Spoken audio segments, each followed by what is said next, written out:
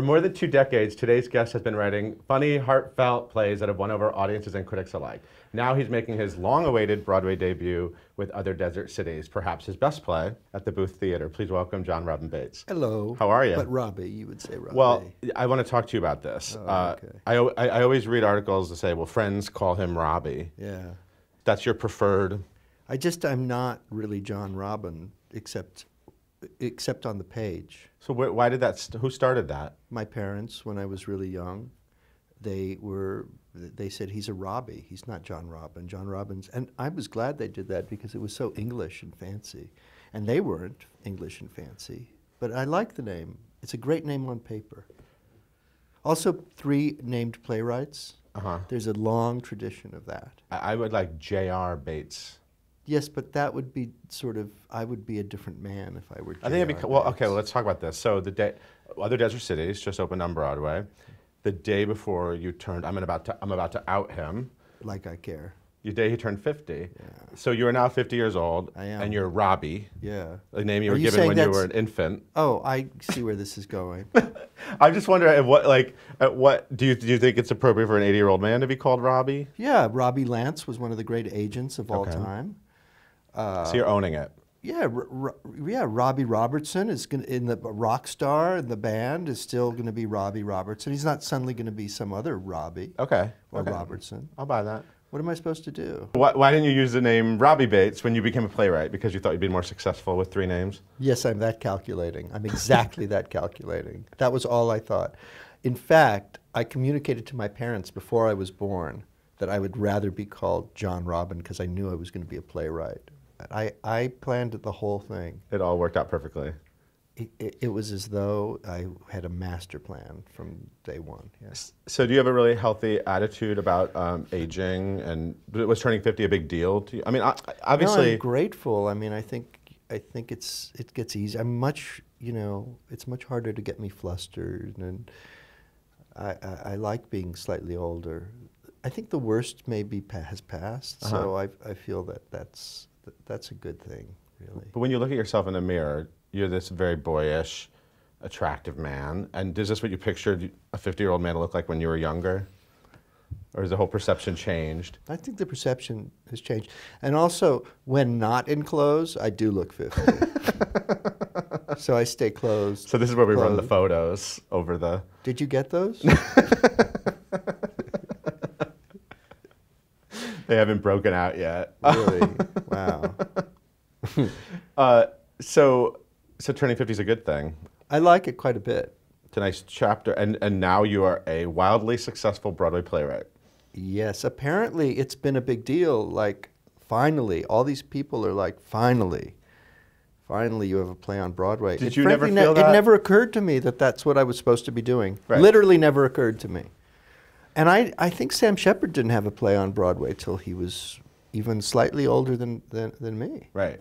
So I was just happy to have a play done. Uh huh. Uh, but now I'm just ruined forever. I've eaten of the poisoned apple. I'm never going back to off Broadway. I will make fun of off Broadway playwrights from now on. That's an off Broadway. Play. I've been walk. I've been insufferable. I walk around going, oh, that, but that's off Broadway. So it doesn't feel any different.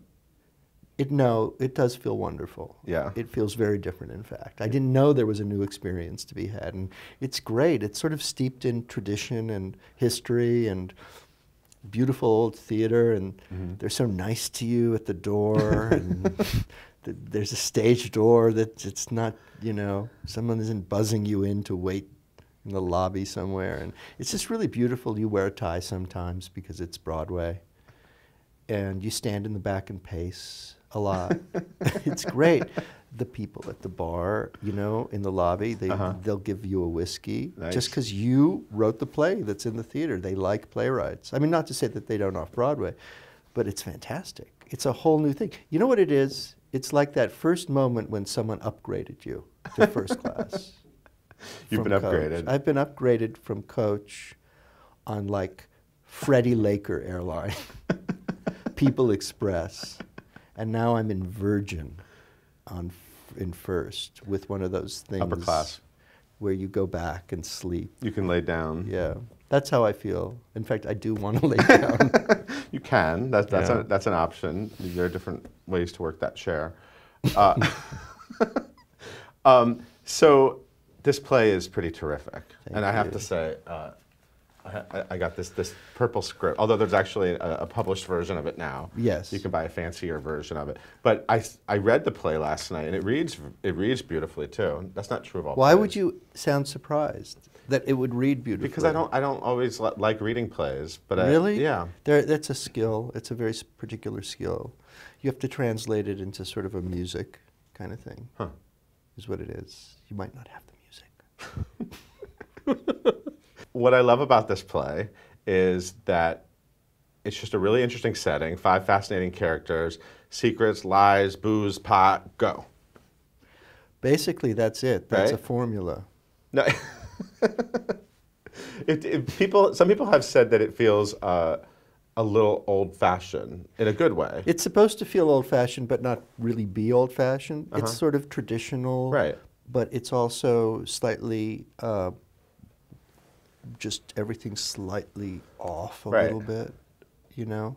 So it doesn't feel like, um, with all possible respect to arsenic and old lace or something, it doesn't feel.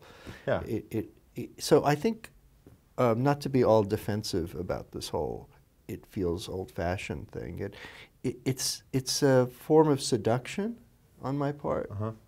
Um, the only form of seduction I seem to be capable of, but that's another story for We'll get to the. Robin Byrd show. I don't know. I'm sorry. Wait till Uh, those photos. We were making wait till those jokes. photos get out.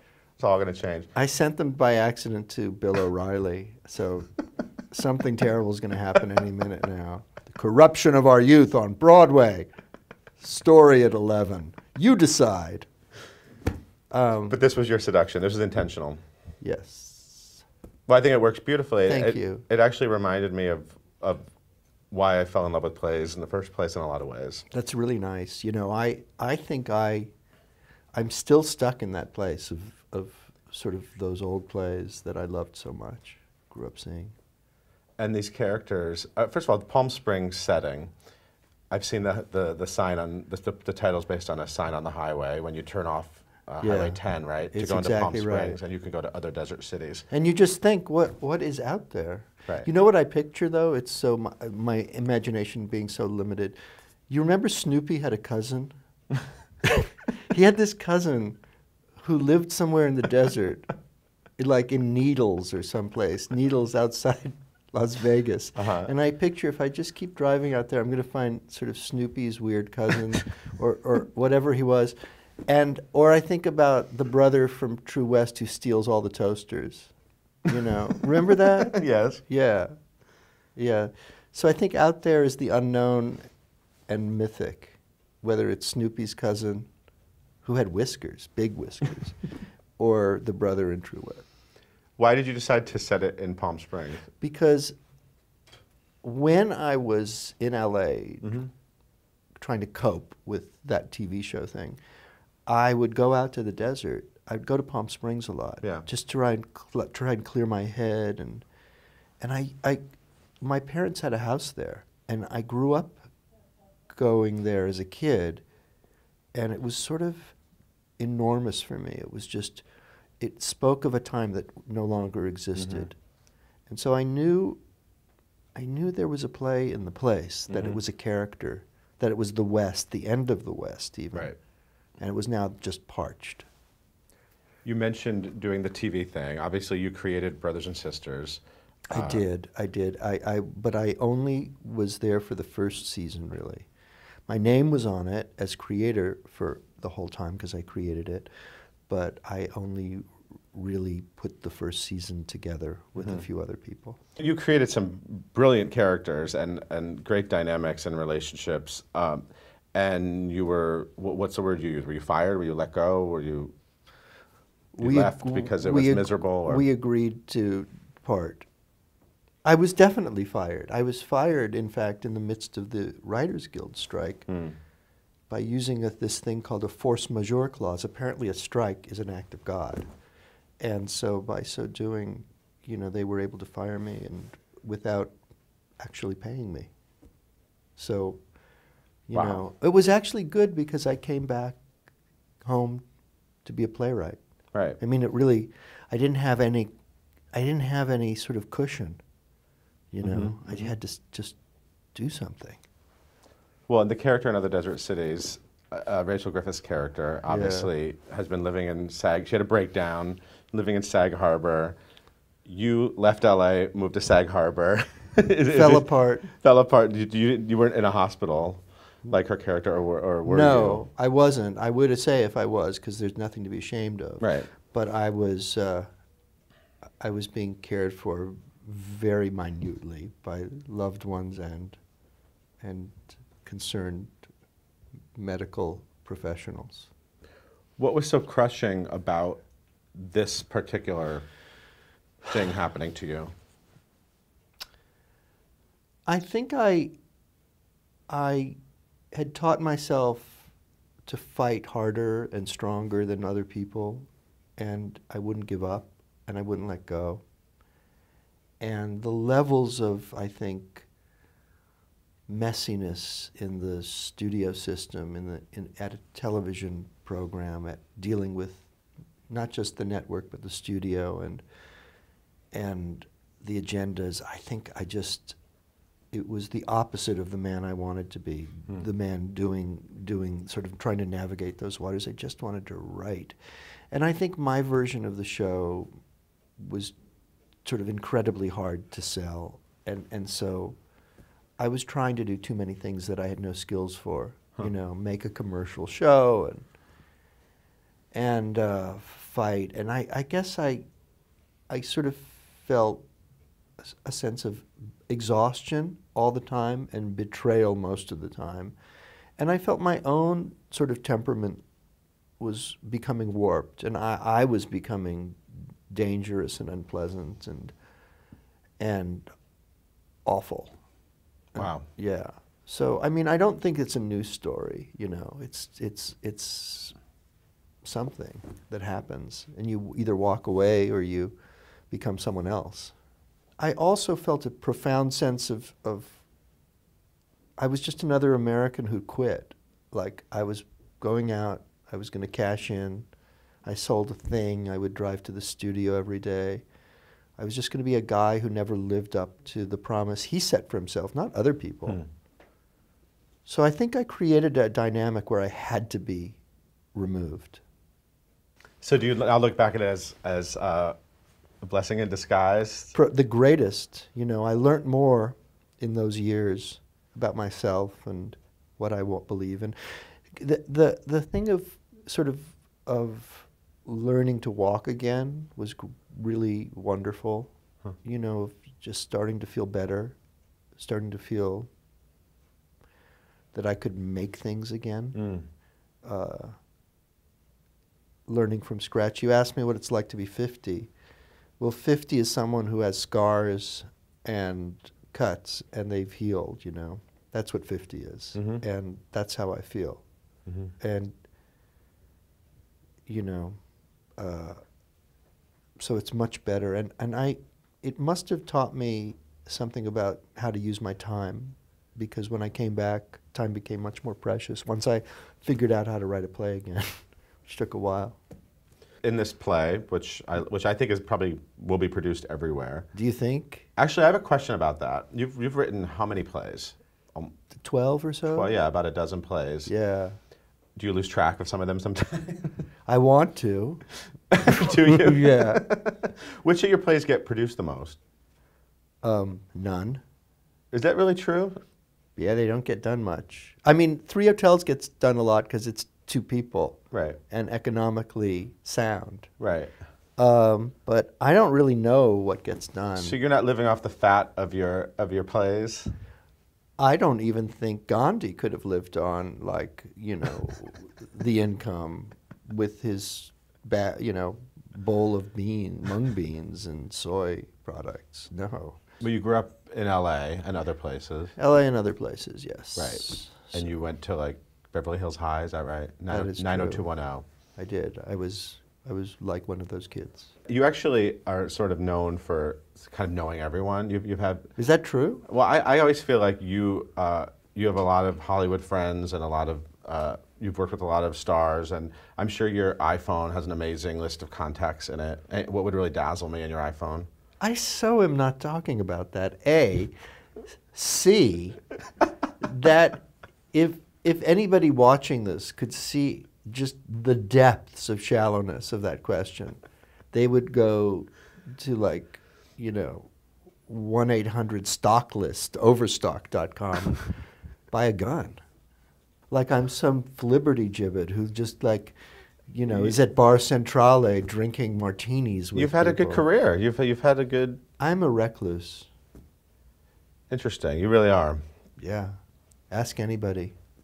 I'm not good in public at all. I have like six friends. So I'm not noticing any big social issues. That's because I'm filled with tranquilizers right now. Kidding. Well, it's working. whatever whatever works for Oh you. my God. There's enough Thorazine in me right now to stun a rhino. So can I'm we? kidding.